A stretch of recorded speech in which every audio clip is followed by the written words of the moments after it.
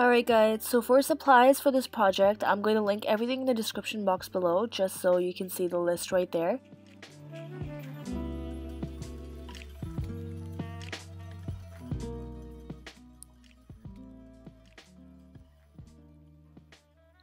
So first I'm going to start off by opening my leather sheet and I am going to fold it up and distress it because I like it to be a little old and rustic looking so that adds to the texture.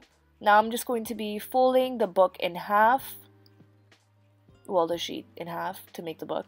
We're to make five markings on it, so two on the top, one in the middle, and two at the bottom. Now I'm just taking my scissor and just creating holes in the markings.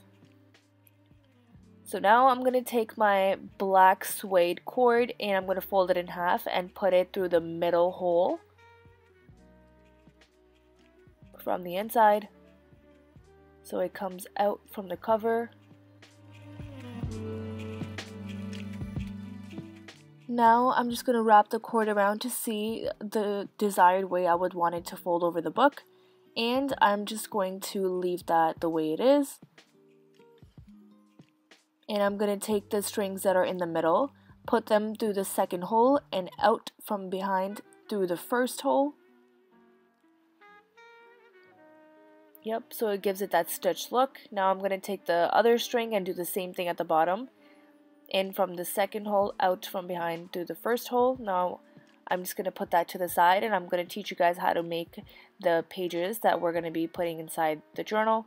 For the first signature, I'm taking six pages and putting it in the book to see how they would look. And I'm just going to trace it around, make straight lines with my ruler.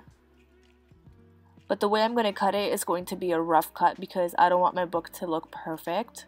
So the pages are also going to be a little rough and I'm gonna make three of these, three signatures. Now I'm just stapling the six pages together. I put an eraser at the bottom and I'm taking my stapler and uh, just stapling them together. I did two staples on the top, one in the middle, and two at the bottom. Just remember to put an eraser at the bottom every single time every single time you staple. I made three of these books, so that's uh, 18 pages in total, and I'm going to burn each of them just from the edges so it gives it that old look.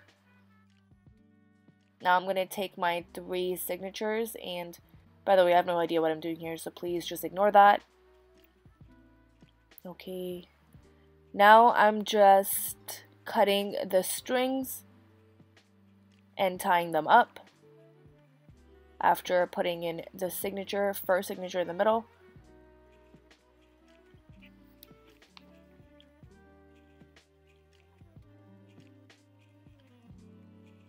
Now I'm going to take the second book and tie it up from the middle. After tying it up, I'm going to take the third one and slide it through the string from the second book so they both are joined from one string and we're going to push them back from behind the first book that we created. And the good thing about these pages but by making them like that is you can once it fills up you can take them out and make uh, make new pages so you don't waste the cover now I'm just gonna wrap it around and we're done I'm gonna make another book using the same exact method as I did the first but this is not this is with um, felt paper. This is not leather. For all you people that don't want to use leather I did the same exact process. For the second book